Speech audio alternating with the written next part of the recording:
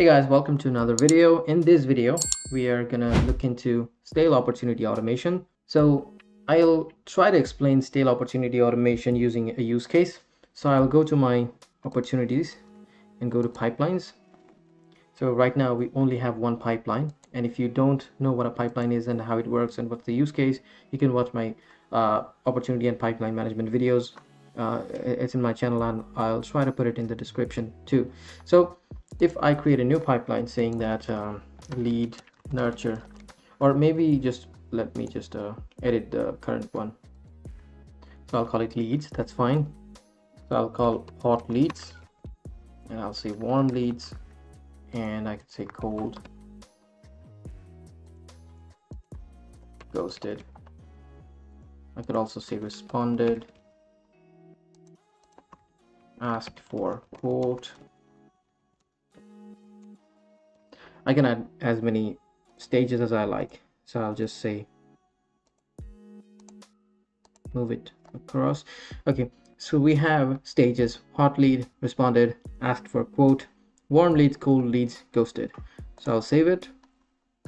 Now what I want to do is uh, if if, uh, if if a new lead comes in I could call it a hot lead because this lead has shown interest in my service or product. And I want automation to go out, right? So I, will keep sending email or SMS until the lead responds. So if the lead does not respond to my emails or SMS for seven days, I'll automatically, I want to move them to warm leads, you know? And if the lead still doesn't respond for, let's say seven more days, so it's been 14 days since the lead came in but didn't respond, I want to move that to cold leads. And if it's been a month we could call this lead abandoned or ghosted. So that's the use case. Basically, that's what we are going to implement. For that, I will go to automation and I'll say create start from scratch. I'm going to call it stale opportunity automation.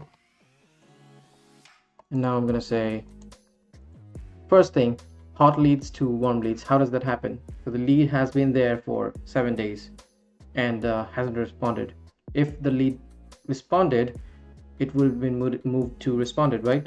So uh, uh what I want to do is I want to say stale opportunity. And I'm going to say here, we need to put a few filters on. I'm going to say in pipeline lead in uh, pipeline stage hot leads and the duration is uh, 7 in days right? So the lead has been in pipeline uh, lead pipeline in hot leads pipeline stage and it's been there for seven days. What I want to do is I want to update the opportunity to warm leads and this will happen automatically because the lead has been there for seven days. I want to, to move to uh, to warm leads automatically. And that's that's one. So you could call it one right? And now let's create another one.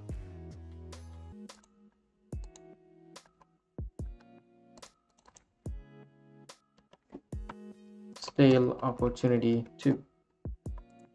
Same thing uh, stale opportunities in pipeline leads in pipeline stage uh, warm leads.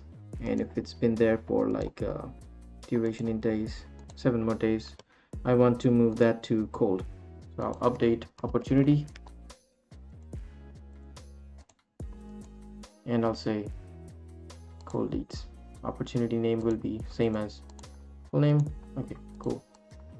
So that's how you uh, move opportunities from one stage to another based on a specific time duration. So if it's not been moved we can assume it's going cold.